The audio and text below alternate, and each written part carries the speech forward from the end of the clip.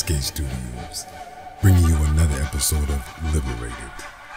Uh, I see that y'all enjoyed the first one, so here's issue number two. I hope you enjoyed the video. Hope you have a good day today, and may the Lord continue to bless you. Sayonara.